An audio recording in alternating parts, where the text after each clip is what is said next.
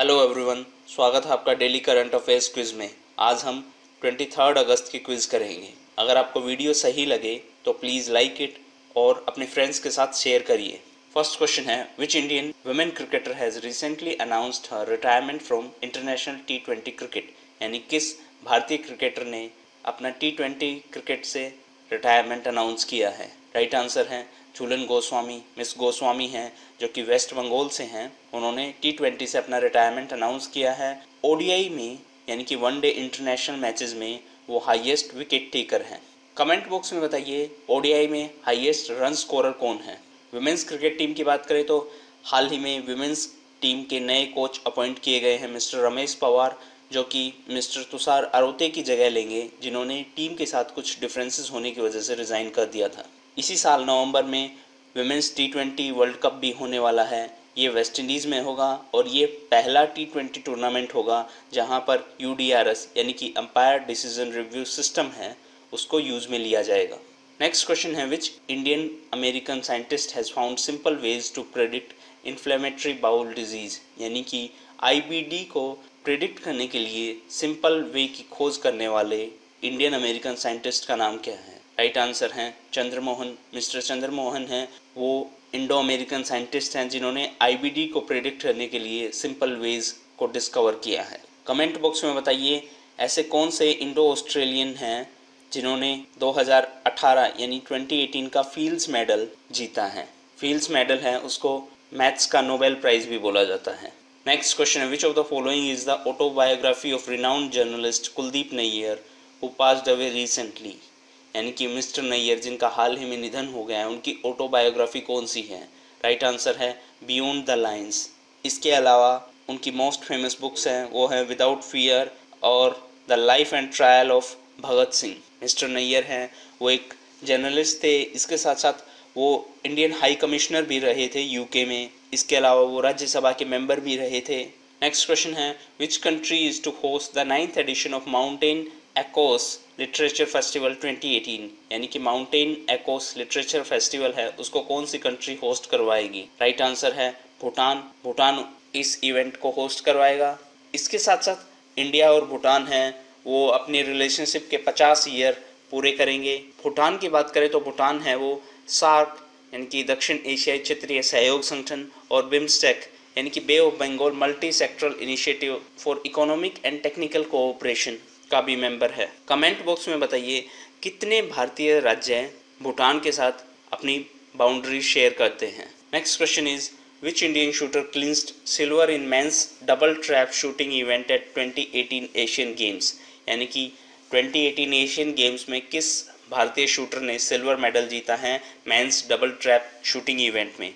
Right answer है, शार्दुल विहान। शार्दुल विहान ने men's event में सिल्वर मेडल जीता है। एशियन गेम्स की बात करें तो ये इंडोनेशिया में हो रहे हैं। ये इंडोनेशिया के जकार्ता और पैलेम्बैंग में हो रहे हैं और पहली बार ऐसा हो रहा है कि दो सिटीज़ हैं, वो एशियन गेम्स को को होस्ट करवा रही हैं। अभी तक इंडिया ने फोर गोल्ड मेडल जीते हैं, जिसमें से दो रेसलिंग में और दो शूटिंग में हैं। रेसलिंग में गोल्ड मेडल जीता है बजरंग पुनिया और विनेश फोगाट ने और शूटिंग में गोल्ड मेडल जीता है सौरभ चौधरी और राही सरनोबत ने। इसके अलावा इंडिया ने चार सिल्वर मेडल भी जीते हैं। चार के चार सिल्वर मेडल शूटिंग में जीते हैं। प्लेयर्स का नाम है दीपक कुमार, संजीव राजपूत, शार्दुल विहान और लक्ष्य शोरान। इन्होंने शूटिंग में सिल्वर मेडल जीते हैं इंडिया की तरफ़ से। इसके अलावा इस इवेंट में अभी तक इंडिया ने टेन ब्रॉन्ज मेडल भी जीते हैं।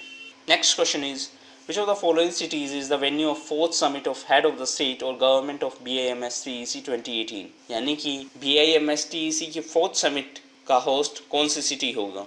राइट आंसर है। Kathmandu B I M S T E C की फोर्थ समिट है, वो नेपाल के काठमांडू में होगी। इसके साथ साथ 2018 की साक बिज़नेस लीडर्स कॉन्क्लेव है, वो भी काठमांडू में ही थी। B I M S T E C की बात करें तो ये है bay of Bengal initiative for multi sector technical and economic cooperation present time में नेपाल इसका चेयर होल्डर है। इसके मेंबर्स हैं B B I N M T S B B I N M T S यानी कि Bangladesh, Bhutan, India, Nepal, Myanmar, Thailand, Sri Lanka.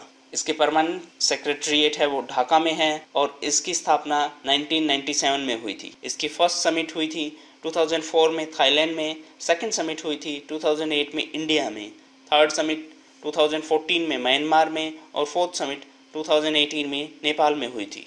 Next question is which country has launched its first state of art domestic fighter jet Kowsar यानी कि किस country ने कोसर नाम का domestic fighter jet launch किया है? राइट right आंसर है Iran Iran ने इस फाइटर जेट को लॉन्च किया है। ये फोर्थ जनरेशन फाइटर जेट है। ईरान की बात करें तो ईरान ने हाल ही में इंग्लिश एजुकेशन को प्राइमरी स्कूल्स में बैन कर दिया है। इसके अलावा यूएस है।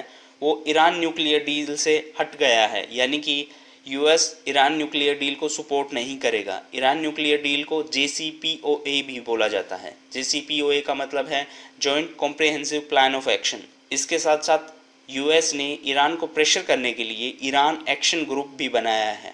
ईरान की बात करें तो ईरान की कैपिटल है तेहरान मिस्टर हसन रूहानी हैं, वो इसके प्रेसिडेंट हैं और रियाल इसकी करेंसी हैं।